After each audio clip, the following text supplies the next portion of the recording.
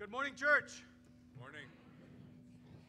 It is a great day to be here. It's a great day to be among the uh, body of Christ as we do each and every Sunday. How about that, right? What a blessing, what an opportunity it is. Uh, this morning, of course, we would like to welcome all of you. Welcome uh, first visitors, uh, recent visitors, continuing visitors, and of course, members of the body of Christ. Um, there is a, in your bulletins, there's this yellow, greenish yellow paper. Please fill, that, fill it out. We want to know what's going on in your lives. We want to know um, in what ways we can pray for you. Uh, we also want to know in what ways we can join you in praise, depending on what, how, and, and, and what God has answered uh, as far as uh, prayers for your life and in your life. So, so let us know. Let us know whatever it is we want to pray for you, whether it's you know you're going through some rough times, sickness in your family, uh, anything. We are here as a body of Christ to join in in with with you in that, and and uh, continue to pray uh, as well. Uh, first first time visitors. Uh, there's a little gift that we'd like for you to have. There's a, it's a book for you guys out there. So as soon as you walk out those doors, please pick it up. It's a reminder uh, of us if in the event that you don't come back, but we do want you back. So, so keep it, read it, and let us know how it goes with that. A um, couple of announcements. A big one next week, next weekend, next Sunday, we have our our what are we calling it? The the, the fellowship lunch. There we go. You know, so, sort of a might as well keep it as simple as possible. Fellowship lunch. We're going to have the youth group uh, come up that day during that time, right? And uh, tell us about uh, this last event that they had a couple of two Sundays ago, uh, two weekends ago, which is called Suncoast. Uh, I even heard from my from my son that this was the, one of the best Suncoasts he's he's had uh, to to date. So so that's encouraging to me. So it should be encouraging to to you all as well. So and look forward to next year. So so if you have uh, youth, age, children, friends, neighbors. What a way to invite and what a way to uh, to share in this time for these kids because I've been there, guys, and it's crazy. you don't get much sleep, but it's fun, and, and, the kids have a lot of fun, and of course, sharing and learning about about uh, uh, Jesus and, and what that means in their lives is, is truly the most important thing. So so that that truly goes in the line of, of, of announcements. We have GriefShare; it's growing. Pastor Pastor Jeff was telling me that that the group is growing. So again, more opportunities to to come in be part of the church. Men's group, women's group, and of course, our small groups are continuing to happen. So, so many things, guys, so many things that God has in store for us this, for this church, this place that we call the Grace Place, uh, now and throughout the rest of the year. And it's still a very young year, right? It's not even, what, the, the middle of January or so? But yet, so many things planned ahead and how God is going to use each and every one of us uh, to bring the gospel, to continue to share the gospel in, in West Bradenton. Amen? Amen. So uh, why don't we join together in prayer, prepare our hearts and our minds for worship this morning. Father, it is awesome. It is awesome to be here. It is a blessing to be here. Father, we, we thank you for the breath that we, that we breathe, the air that we breathe, everything that we have. Let it be honoring, accepting, and glorifying to you, Father. Uh, you know us. You know us better than anyone. You, you, you have numbered the hair of our head in our head on our heads, Father. It's wow. That, that's, that's the way that, that you have loved us, known us from eternity past. Father, you have us here for a purpose, for a reason, as a church, as a body of Christ, and we want to join you where you are. Wherever you are working, that's where we want to join you to continue to build your kingdom here on earth, knowing that we are here but not here yet. We're going to join you someday in the future as promised in Jesus Christ. We have we take that to heart. We know that as a promise. That is our hope, our strength, and that's what we know for sure in Jesus because hope does have a name, and it's Jesus himself. So we thank you for this day. We thank you for our congregation, for our members, for our visitors, for our pastor. Uh, the words that he's going to say today, Father, let, let them be a blessing to you and a blessing to us as we continue to grow And the music, and everything else that we have. Let it be honoring and glorifying to you. In Jesus' name, amen. Amen. Please stand with me as we uh, call, uh, join together in the call to worship. Our call to worship comes from Luke chapter 4, verses 18, 19, and 21. I'll read part of the leader. Please follow along as the congregation. The Spirit of the Lord is upon me because he has anointed me. to proclaim good news to the poor, He has sent me to proclaim liberty to the captives and recovering of sight to the blind, to set at liberty those who are oppressed, to proclaim the year of the Lord's favor. Hear the words of Jesus. Today, this scripture has been fulfilled in your hearing. Let us praise him. Let us continue in worship. Well, I don't have to tell you to arise because you did.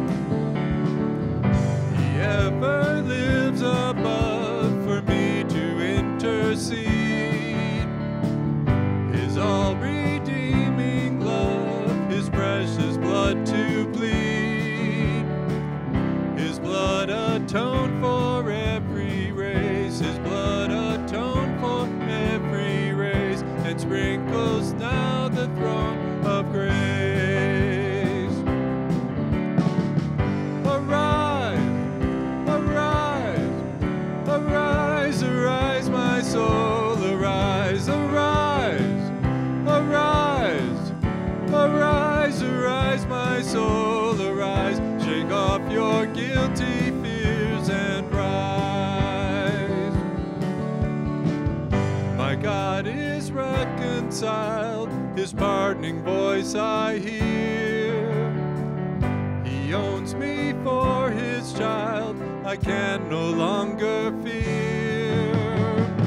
With confidence I now draw nigh, with confidence I now draw nigh, and Father, Abba, Father,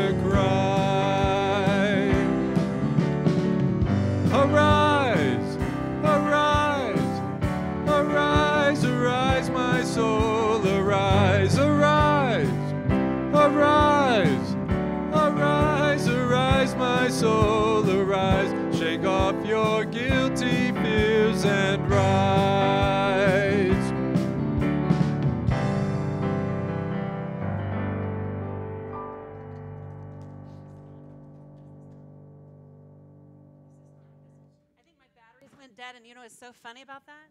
I just told Gail this morning, I'm tired of hearing my own voice. so there. Oh, it's on. How quickly prayers can be answered. Sorry, I digress. Okay, so let's do the next song. Okay.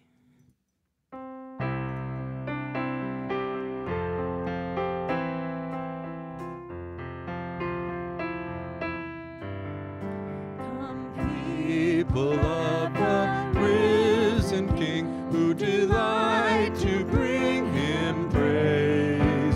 Come all and tune your hearts to sing to the morning star of grace. From the shifting shadows of the earth, we will lift our eyes to him where steady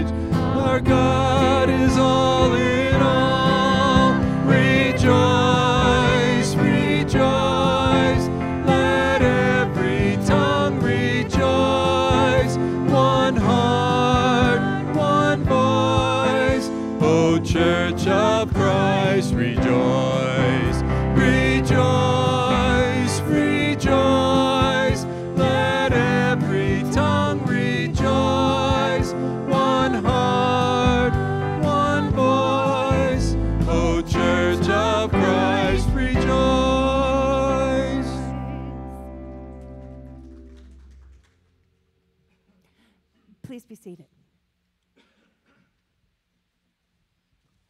We get a chance now to pray for God's kingdom and also uh, confess our sins, which are a really important uh, part of who we are at Harbor, to be reaching those outside the church, um, but also by doing business uh, within our own hearts. So let's pray now. Father, you are father to the fatherless, that you are the protector of widows in your holy habitation. That's just who you are. That's not who, who we try to make you out to be. That's just simply your way of, des- of describing yourself here from the very beginning in the scriptures.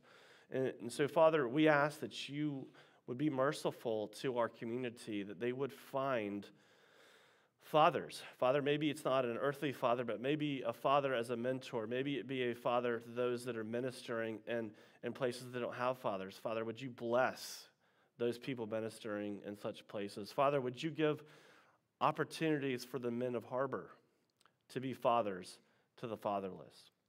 Father, we uh, confess to you that a lot of times we just can't get out of our own way. We, we want, Father, to do the right thing, but we're scared because we, we have an allegiance uh, to those who are influential, and we look to those who are influential to take our cues.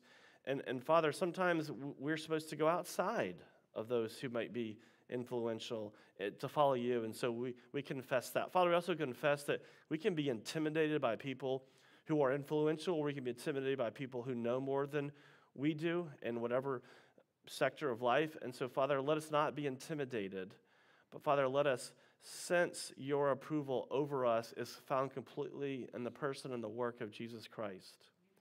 And as we do that, Father, then would you let us be influential because of the grace? Let grace be influential, Lord, in our own hearts, in the hearts of those in our church, and also in the hearts of those in the community. For so many people have rejected what they think is the gospel and really is not the gospel. So, Father, enable us, give us hearts that are passionate to go to so many people, Lord, uh, who have rejected what they haven't even tasted. Lord, enable us, Father, to do such things. Lord, let this be a grace place, not just a grace place that is good for us, but a grace place that is good for the community.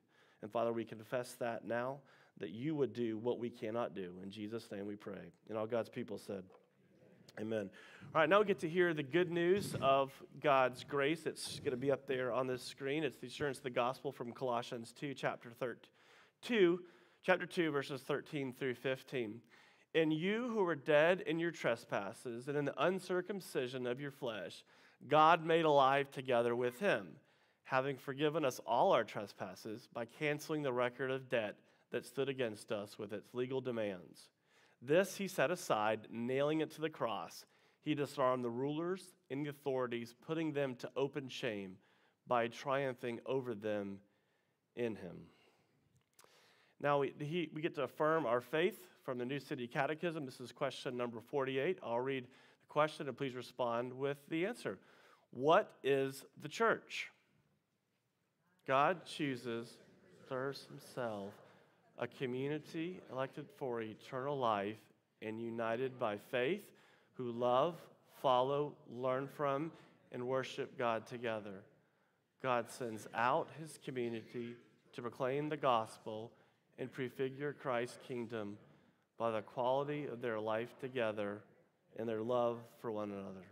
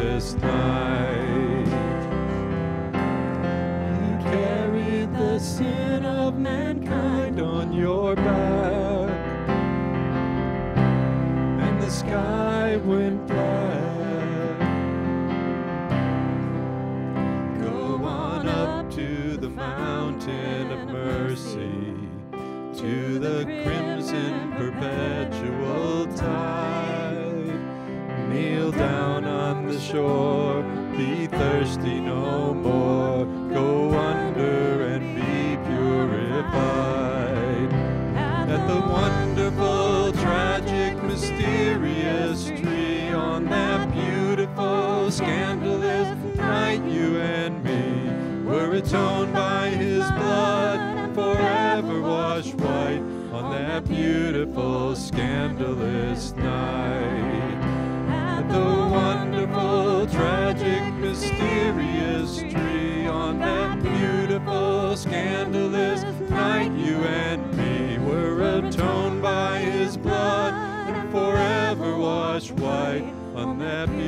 beautiful, scandalous night. Beautiful, scandalous night. Beautiful, scandalous. Miraculous night.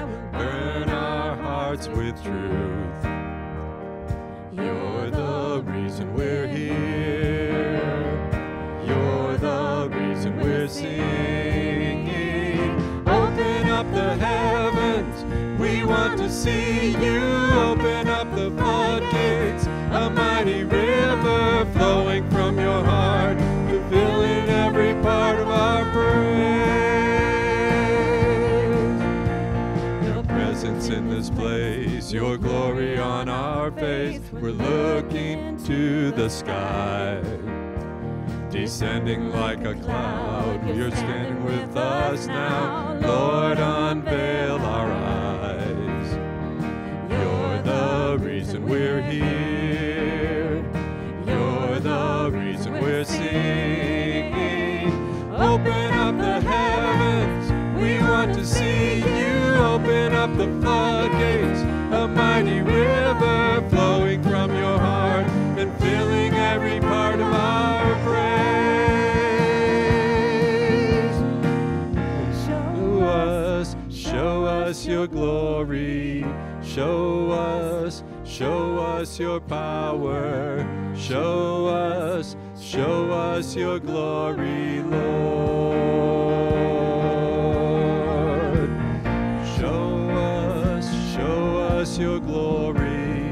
Show us, show us your power. Show us, show us your glory,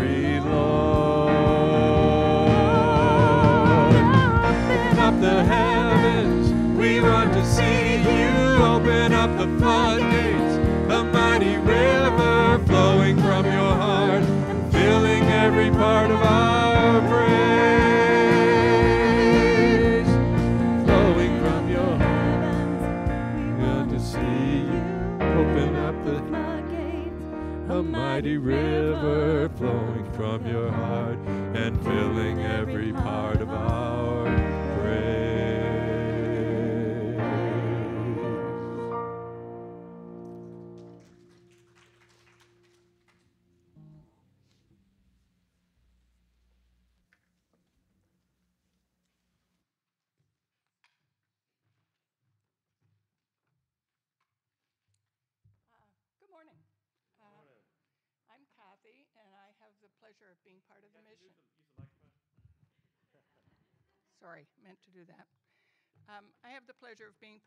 missions team, and on behalf of that team and the missionaries and ministries that our church supports, thank you so very much for your incredible generosity through to- 2022. Thank you, too, for your support of our special missions events and for your heartfelt response and gifts of almost $5,000 for those impacted by Hurricane Ian. Yesterday, Ed reminded me of some of the Apostle Paul's words to the church in Corinth, as they seem so appropriate, from 2 Corinthians 9 11 and 12. You will be enriched in every way, so that you can be generous on every occasion, and through us, your generosity will result in thanksgiving to God. This service that you perform is not only supplying the needs of the Lord's people, but is also overflowing in many expressions of thanks to God. We have been enriched. You have been generous, and we give our thanks to God. We have several new folks worshiping us, so a quick review of the Lord's people whose needs we're helping to support seems in order. We financially and prayerfully support three missionary families serving overseas the Floyds and the Kellys in Panama, and the Myers in London, England. Closer to home, we have the Tanners serving with RUF at Florida Gulf Coast University in Fort Myers, and the ministries of Loving Hands, Guardian Angels, CareNet Minnesota Pregnancy Center, and the Florida Church Planting Network. All of these are so worthy of our support. Representatives from most of these groups have visited us in the recent past. More information about them is available on the missions table and, and bulletin board out in the lobby. And slides are shown before service every week and will be shown when I'm finished talking. so you can see them if you don't usually see them. There you will see photos of these families. And please do ask any of us on the committee if you have questions. Last year, we were able to fu- fund 75% of our commitments to these minis- missions and ministries through the gifts designated for missions. Because of your generosity, an amazing $25,000 was donated to missions. We were able to give each of the families a small year end gift to encourage them. This year, the leadership of the church has asked that we totally fund our commitments this way. We certainly believe this is possible. Obviously, we need your help. We pray that beyond your tithes and offerings to the general fund, that you might consider gifts earmarked for missions. You can do so by writing in the memo on your check or on an envelope. Uh, again, I want to thank you for what you have done and what you will do in support of those who are spreading the gospel here in, in Florida and around the world.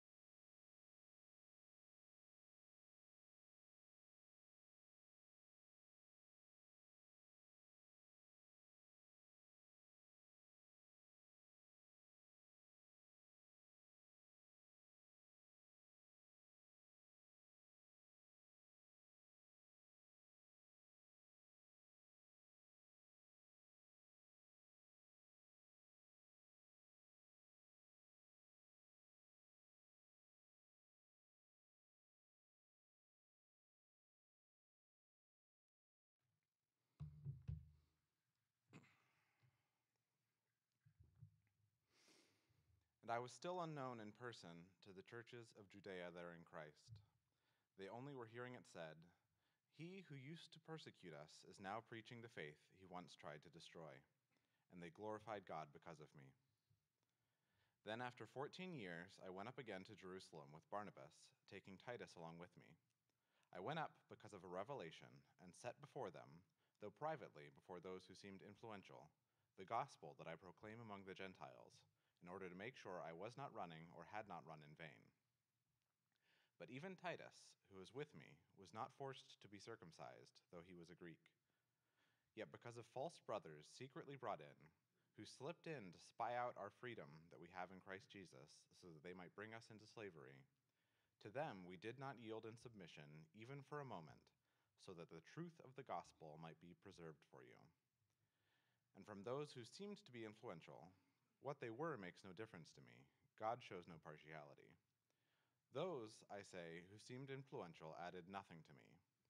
On the con- contrary, when they saw that I had been entrusted with the gospel to the uncircumcised, just as Peter had been entrusted with the gospel to the circumcised, for he who worked through Peter for his apostolic ministry to the circumcised worked also through me for mine to the Gentiles. And when James and Cephas and John, who seemed to be pillars, perceived the grace that was given to me, they gave the right hand of fellowship to Barnabas and me, that we should go to the Gentiles, and they to the circumcised. Only they asked us to remember the poor, the very thing I was eager to do. This is the word of the Lord.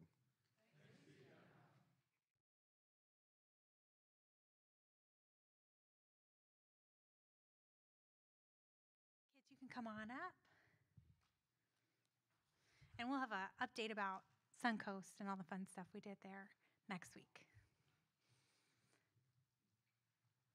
No kids club this week. Please pray with me for our kids. Lord, thank you for these students and for all those who couldn't be here today. Thank you for another great student retreat. Help our teens to hold on to what they learned and how they've grown, and uh, be with these children as they go to learn about your sovereign hand and how you saved Daniel. In Jesus' name I pray. Amen.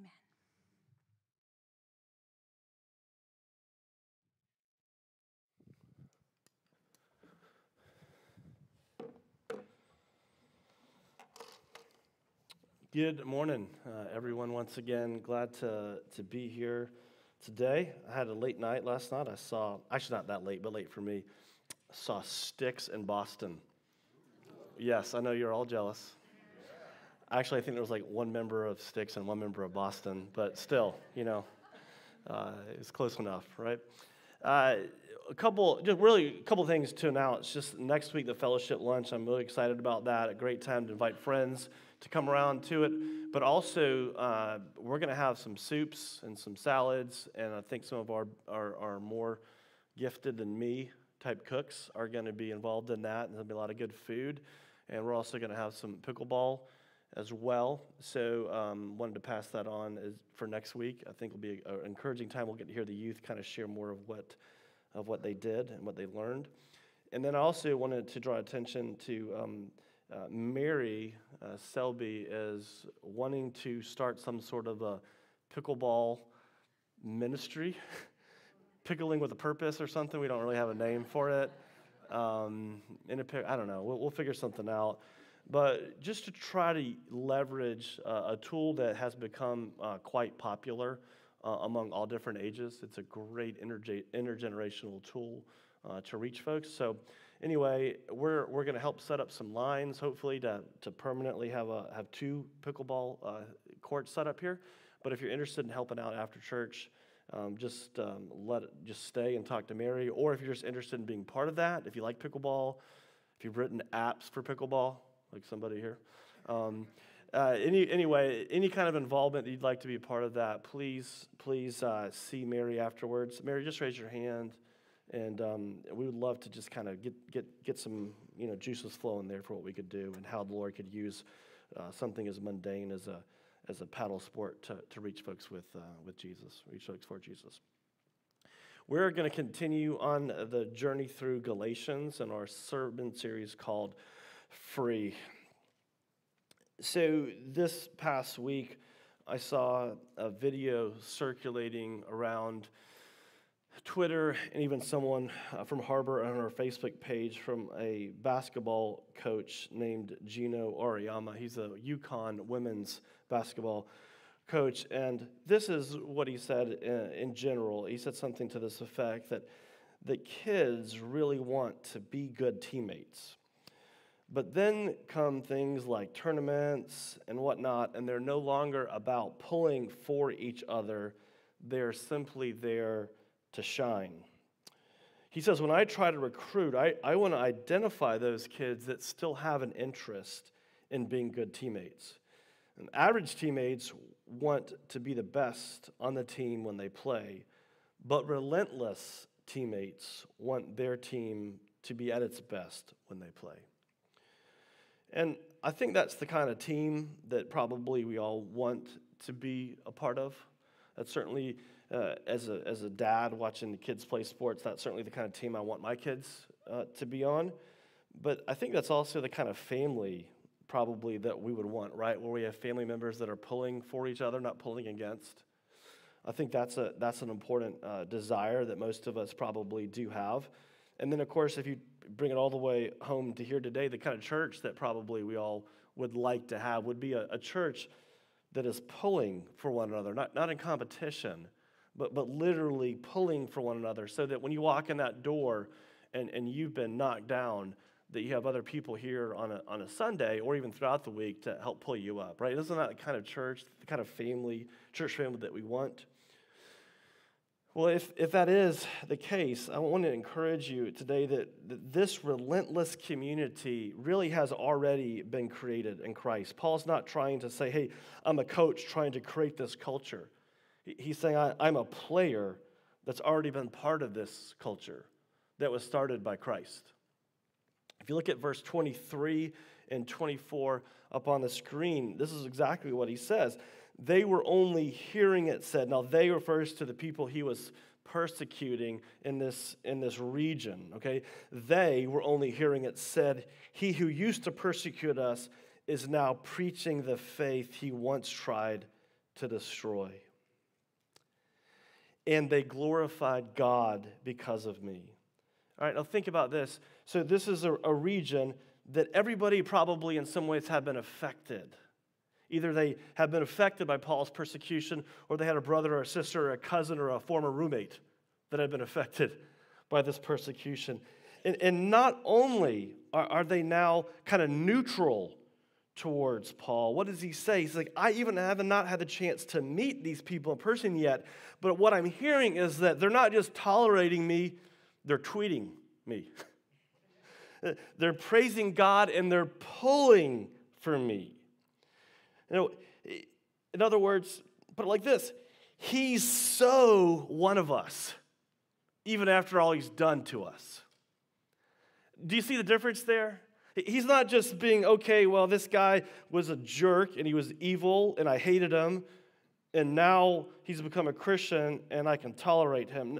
No, he's gone from uh, uh, the infamous El Guapo. If you've ever seen the movie Three Amigos, the, the bad guy who's persecuting this village, he has now become the fourth amigo. He has gone from uh, an evil antagonist to now he's one of the, the protagonists. He's, he's a friend. And don't you think this has got to be a little bit moving to him? Don't you think he's a little bit surprised that, man, these people are pulling for me now? They're not just putting up with me. Because if Paul had been forgiven, but not welcomed, then that's less than what the gospel is, right? If he'd been forgiven, but not welcomed with open arms, then what Jesus died for was not being experienced. Thank you, because that is what the gospel is about. It is not simply getting us to heaven. That's part of it, being forgiven and having our sins washed away. That's awesome, because we only have a short time on earth. Right? That's huge. But it's heaven on earth. This is this church is supposed to, as we said in our affirmation, it's supposed to prefigure heaven on earth. It's supposed to be what heaven looks like, where people are being welcomed, even people who had done us harm. When they've been forgiven and when they confess and they've been forgiven by Jesus, they're welcomed. This is what Jesus died for. And the gospel removes the need for approval, but provides the need for a welcoming community that pulls for one another. And Jesus died for that, and guess what? You need it. Right? He didn't die for something you didn't need. He didn't die for something extra. He didn't die for a side of onion rings. Or French fry. He, he died for the main course, the, the, the big stuff, okay? And so this is really, this the rest of this passage really just unpacks that truth. He says, Let me show you how to keep a community of people pulling for one another. Let me show you how. You keep the truth of the gospel, which he says here several times in this passage. You keep the main thing, you make the main thing the main thing. Amen, right? You keep the main thing the main thing from start to finish. And nothing changed from this content of this gospel. He says, from the hour I first believed to 14 years later, nothing changed. The content did not change. But remember, you change the content, you're going to compromise the community. You want to get the community back to where it needs to be, you go back to the content. And now he's and, and now I want you to see how he actually applies this gospel as he goes up to Jerusalem. So he says, I didn't go up to check with the apostles, with the bigwigs in Jerusalem. I didn't go up to check with them. I went to check on them. I wanted to make sure they were still following the same gospel that Jesus had preached to me years ago. And to do this, you have to actually apply the gospel. Now, one of my friends, Mark, described Paul not as the fourth amigo, as I just did, but he described him as Mr. Irrelevant. The last pick in the NFL draft is known as Mr. Irrelevant. And Paul is basically Mr. Irrelevant. He's the last apostle. And you got to imagine that being the last apostle, being late to the party, you would be intimidated to go approach those who are influential, right? I would be intimidated to go up and tell Tim Keller, hey, here's some things I need you, you might want to check on doing differently. He's my, he's my, my favorite preacher, my, my, my idol almost. Okay? It, it would take a lot of guts. But it wouldn't take a lot of guts per se, it would take a lot of gospel, right? You have to believe this gospel. And so he says, I know what Jesus told me. He says, Your grace is sufficient for me. I know what he said to me. Even if Jesus' followers say something less, it doesn't take away from what Jesus said. Amen? Amen? Okay, so we have to hold back to what Jesus has said, but I want to make sure that they believe the same gospel that I believe and they apply it the same way. And so he says, I really wasn't that impressed by these influential people. He says, they seemed to be influential. Keep in mind, these are the apostles, these are the handpicked of Jesus. they seemed influential to me. But because of Jesus' grace, I now am among them. Isn't that cool? And so, you too, friends, whether you believed an hour ago, or 14 years ago, or plenty much longer, we have been welcomed into a community where we have every much as right to be here as anyone else who believes in the gospel. Amen. Okay, so this is believing the gospel. In order, we got to believe it if we're going to pull for it and have a community that's pulling for one another. Now, this is hard because I like influential people. And I want to be friends and I want to be known by influential people. My friend is a basketball coach at Manatee High School. He's not famous. His name is Mike. But there is a famous coach that coaches football there. His name is Jacquez Green. And guess who he used to play for? The Gators, which I don't really care about, but the Bucs, which I care about too much. And, and I'm like, Mike, did you talk about the Bucs with this guy? It's like, no, you, no, you don't do that. but, but you're, you're, he doesn't want to talk about the Bucs. He doesn't want to be seen as some influential guy. And I don't need to be seen as someone who's going up to somebody and sucking up to them because I just talk to him like he's a normal guy. That's what the gospel does. It takes influential people and it turns them to just other guys just other guys who have gotten grace. Amen? Okay, so he wants to make sure they're consistent with that, all right? So he says, I have a revelation, which is hard to understand exactly what that was, but it's some sort of message that, that God is leading him to go up there to the mothership, Jerusalem. But he also fears that maybe, maybe I'm running in vain. Not that I've got the gospel wrong, but if I am preaching that there is one church, Jew and Gentile. That's what I'm preaching. And now you're saying, no, there's two churches, then that's going to be running in vain, right? And so that's what he goes back and to make sure that this is not what's happening. And so he does. He goes back to where it all began. But why is he so scared? Why is he so scared that this could be happening? Well, think about this, guys. If there's a Jerusalem church, which has what kind of people in it? Jewish people, right? if the Jewish people that were the apostles didn't leave Jerusalem until they were persecuted, by the way, right? Okay, they didn't leave until they were persecuted. And then the people that they are preaching to, the message that they have, and this is fine, this is a good message, this was Jesus' command. The people they are going to is who? They're Jewish people. So if you have a church that's the mothership, okay, and you have all of their ministry, all their ministry stories, when they come back and hear testimonies of what's happening, it's all going to be what kind of people? Jewish people, right? And so with that comes all kinds of customs and traditions.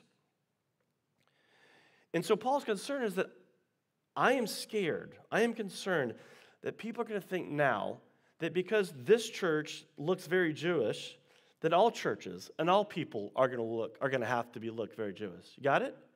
And so Paul was involved with a Gentile church from the very beginning, Antioch. And there's all kinds of crazy cats there. There's all kinds of different ethnicities and cultural backgrounds there. And so they didn't have this kind of question should I get circumcised? Should I not get circumcised? That wasn't what the questions that they were asking. And they looked different. And unless you rub shoulders, unless you run into different people that are Jesus followers who look culturally different than you, then you're going to assume that, okay, everybody just eats Hebrew national hot dogs. Everyone drinks Spanish Manischewitz. Every, everyone has the same kind of hairstyles. But if you are around other Christians from different denominations and some different parts of the community or different parts of the world, you realize that that's not the case, right? There's, there's cultural things that can be added onto, and sometimes people will force you to look culturally, culturally conform when they assume this is just what Christians believe. No, no, that's what we hear. Maybe in Bradenton, in a small section, have preferences. But not everyone should look exactly like me. I hope that you don't want that. Don't need to answer. right? I don't want everyone to, to look exactly like us. No, that's not at all. And so Paul's concerned that that's the case. And by the way, I don't have the same fears here, but we did, if you're here for Advent, we did read a devotional by Christian leaders all over the world, right? from all over the world just to make sure to understand the content of the gospel is the same, but it fits differently in different cultures. Right? There, there are different questions that they're asking the questions that sometimes that we're asking. And they don't have to look like us, and we don't have to look like them, but we do need to look like Jesus. And so the content has to be there, so that's his concern. And, and I think there's a quote up there from N.T. Wright. It says this that the Messiah, is it not up there? The Messiah has one family, not two. And if we think the Messiah has one family, not two, then we will be compelled not to force others to look like us in order to be welcomed in. And so, for this situation, Titus, if he were compelled to get circumcised, then the gospel content wouldn't have been the same gospel content. The God's right? It would have been different. You've got to do something in order to be one of us. But, but Paul says Titus was welcomed. And these Jewish leaders who, who are influential, but I don't really care about them being influential, but I want you to know that their gospel is the same gospel as my gospel. And Titus needed to be welcomed, and you need to be welcomed. And I need to be welcomed, and you to be welcomed by me. Do you get it? We all need to be welcomed. And nothing has changed in 14 or 2,000 years. AT&T has a, an ad, uh, a commercial now that they're running that everyone gets the same deals. And I, and I have to admit, this is an attractive ad for me because I'm a Spectrum customer and I don't get the deals that they see on TV. But with AT&T, the, what's supposed to be so attractive is that old customers who, who may not get good deals on these new iPhones are, now, are, are able to get the deals. And then so another person comes in the room and says, Well, what about new customers? And guess what? It's the same thing. New customers gets the deal, get the deals. And another person walks in, well, what about existing customers? And there's always this question, like, this, this seems too good to be true. Old customers and new customers, we all get the same deals? And that's really what Paul is saying is here is that you guys have been duped into thinking that there are different deals for different people. The, the old customers, meaning the ones that have been a part of, the, uh, of, this, of this Jewish nation, those guys are offered the same deal as the new guys. And so the new person who's just come to faith, that has no background, that has no history, maybe even came to faith on his or her deathbed, gets the same deals as the person that's been a faithful servant of the church for 80 years. Everyone gets the deals. Isn't that cool? It's cool, but it's crazy. And it's cool, but it can be corrupted. And so Paul's very concerned because this is such a unique thing. And that, that's the purpose of their advertisement, right? Is that this is, this is unique. This is completely unique. Everyone gets the deals. But, but he is very concerned, though. And he says there are people who want new customers not to get the deals. And so he describes them as false brothers that have come into. And he says, even then, when I went up to Jerusalem, there were guys, there were folks who said the new people don't get the deals. The new people need to do something additional in order to be a full blooded part of this community. And, he's, and he calls them false brothers. He says, they're not even, they're not even part of our family. That, that's, that's, that's sharp, right? We, we typically don't want to just say, well, that person is definitely not a believer.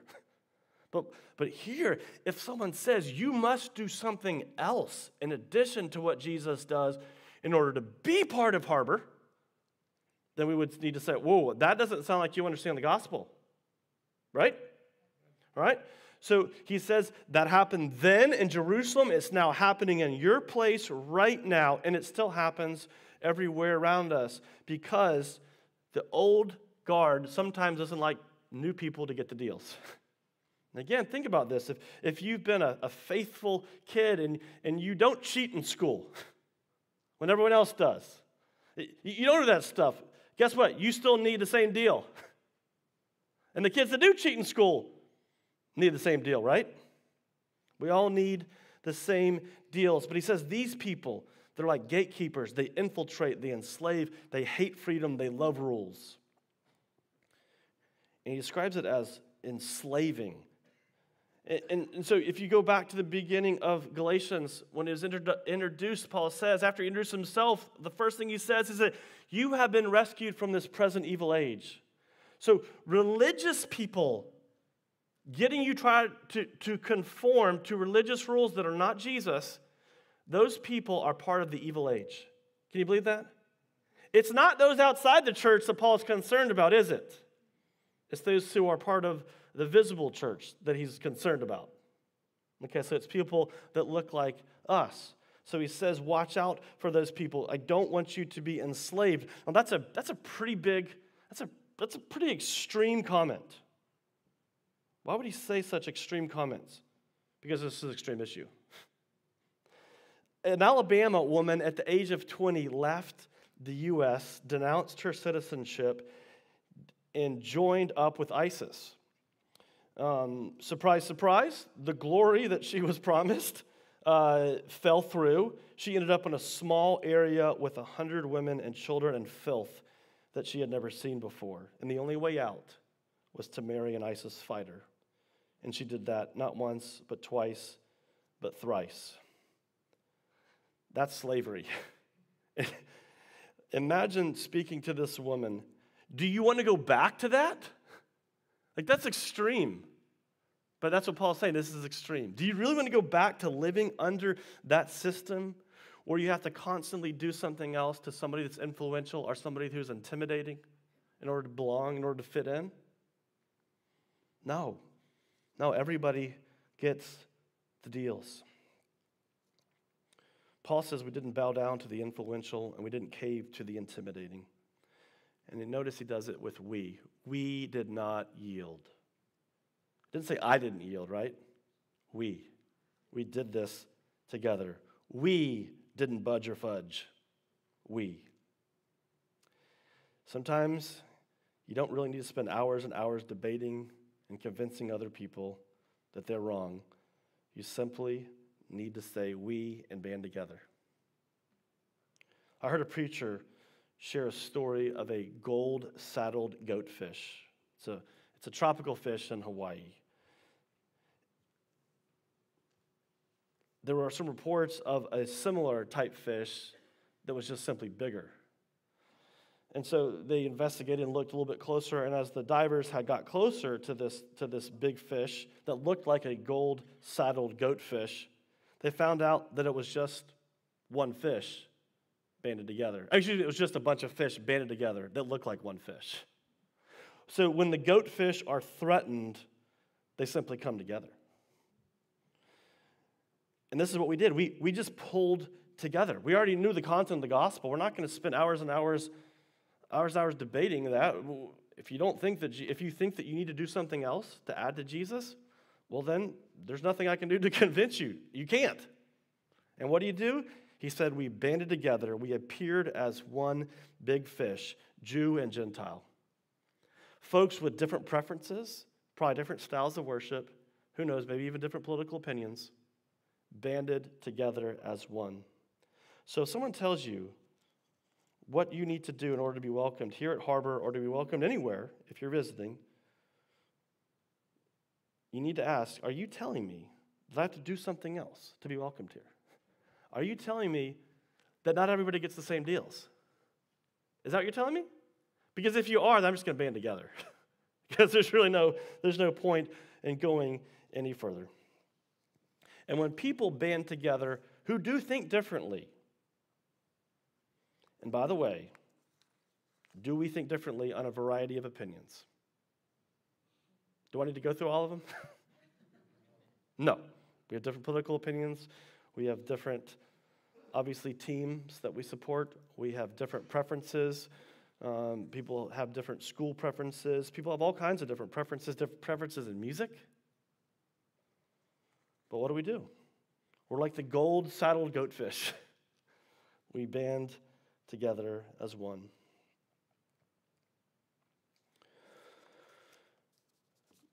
You can go to the next. Okay, there's, you're already there. Thanks. And so finally, what we see here is that Paul once again goes back. They seemed to be pillars. Do you get that? He says it several times. Um, that don't impress me much. they're still dudes. And no matter you or, or how you think of someone that's a mature Christian or a not mature Christian, guess what? They're still dudes and dolls, I guess, too, right? Guys and gals, guys and girls, men and women who get grace. That's it. There's, there's no special hierarchy. Amen? Amen? All right. So I didn't get their approval, but I did get their welcome. They extended the right hand of fellowship. Don't think that Paul doesn't need to be welcomed. He does, because that's what Jesus died for, right? He died for the welcome. Not just your forgiveness of sins, he died for you to be welcomed into a community of faith. So do not sell for anything less. Recognize that you need that and be part of it. He says they're going to go to the old customers, right? The circumcised, the Jewish folks, they're going to go to the old customers. I'm going to focus a lot of my time on the new customers. Now, Paul does, still does go to synagogues in his ministry, but he says, You're going to focus on the old, I'm going to focus on the new. We get the same deals, and guess what? We're pulling for each other. Do you get that sense here? They're pulling for each other. This is the kind of community that Jesus creates. How do we do that? Well, again, we have got to go back to the gospel. Perceive the grace. Do we see the grace in other people? Do we see God working in other people? And if we do, we call it out. Someone told me yes, someone told me this week, you know what, Jeff, so and so did a great job leading. You know what I did? You know what I did next minute? Send a text message. You did a great job leading. When you see grace, point it out. If you see somebody change, don't say, man, you've changed. Don't, don't think that the person's good. Is there something going on? Is that me? Oh, it's here. Okay, gotcha. Just making sure it wasn't me because usually, usually it is. But when you see grace, pointed out. I mean, how, how important is it? That's, that's, a, that's a community that is pulling for one another. When you see gifts in other people, you might say, Man, I wish I had that gift. I mean, whenever someone fixes something, that's what I say. but then someone else says, Jeff, you've got gifts. It's just not one of these. and you know what? I pull for that person, and they pull for me. So let's begin and let's continue pointing out ways in which we see God's grace developed. If you say someone, man, you've changed so much, don't worry about them thinking, well, if I've changed so much, I must have been a really big jerk back then. Well, maybe, but it's okay. The Lord has shown his grace. Let's begin to share. Let's point out the grace in others. Let's point out the gifts of others and let's celebrate those gifts. Um, let's celebrate those gifts in others because if God has shed his grace on me, and Paul, Paul the apostle, was approved, he was welcomed to fellowship. Why? Because they perceived the grace that was given to me. He wasn't welcomed because he was a rock star.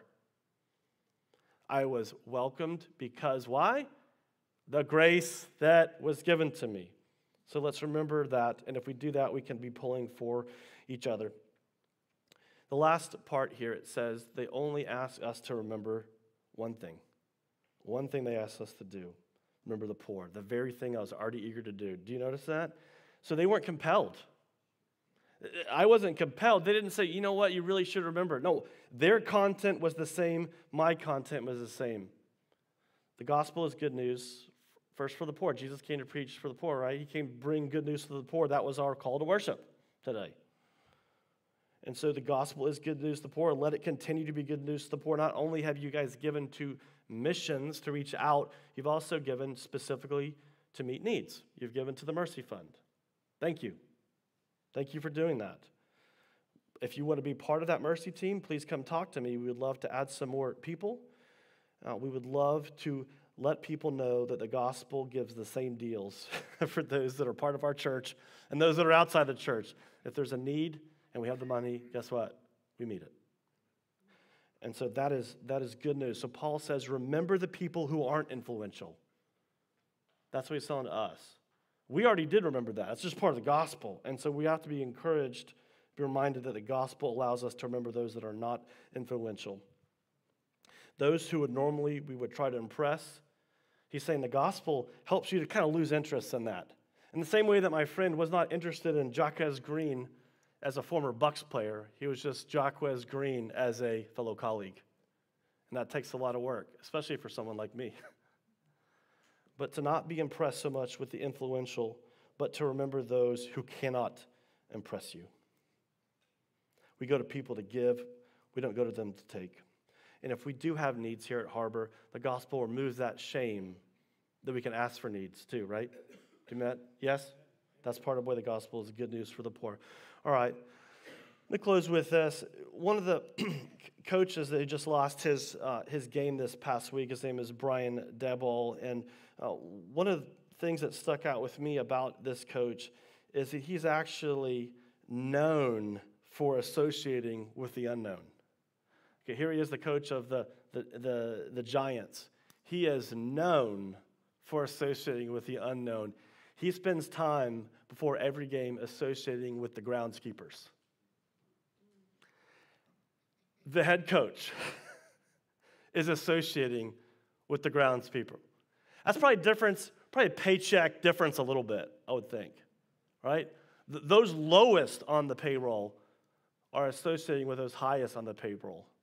And the beautiful thing is, they're just the same, right? And, and the gospel covers that gap between the lowest among us and the ones that make the highest. We are nothing but dudes and dolls who've been given grace. And if we believe that, that's going to change everything. That's going to leave us pulling for one another. Instead of being jealous for other people's gifts, we're going to be pulling for that person gifted that way. And believe it or not, that person is likely pulling for you. But just let's, let's, let's make sure we let people know that we're pulling for them. Amen? Because that's the kind of community that we need. We need to be pulled up, not pull ourselves up. Let's pray. Jesus, thank you for your, your forgiveness and your grace. Father, make this the kind of community where people who don't understand it would be welcomed into it, Lord. Let us never be a community that would force political convictions, cultural convictions, preferences upon those that come to here in order that they would be a part of here. Father, instead, let us be able to show with them the welcoming grace of Christ. Lord, let this be a welcoming community. Father, thank you for the ways in which this community, even those in this community, go out and bless their communities. The way that I've seen people in my own neighborhood that go to Harbor are now taking care of those who can't take care of themselves. And it's not just there, it happens throughout this community, Father. But we give you praise and we give you glory. Lord, let us see more of that and let us enjoy more of that, that we can enjoy more of you. In your name we pray. Amen. If you want to give, there are ways to give online. Uh, there's also you can give through the basket or the, um, the giving box out in the lobby. Um, but we are going to close out in song, so I invite you to stand and to sing.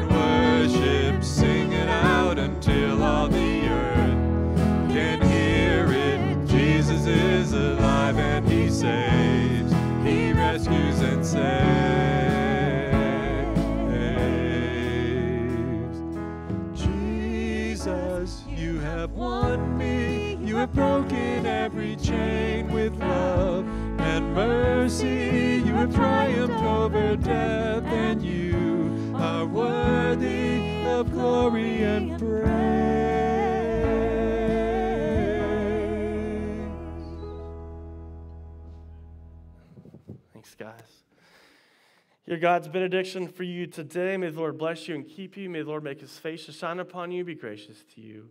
May the Lord lift up his countenance to you and give you his peace. Go in peace, my friends.